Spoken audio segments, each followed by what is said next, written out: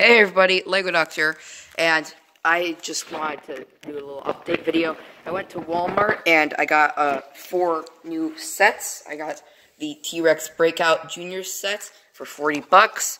I got the $10 uh, Woody and RC, and I got this one for $12 instead of 14 uh, or 15 maybe it was, with the Overwatch Widowmaker versus Tracer set and the Golden Dragon Legacy set. I also was lucky enough to find a box, an empty box, a completely empty box for the Disney CMF 2.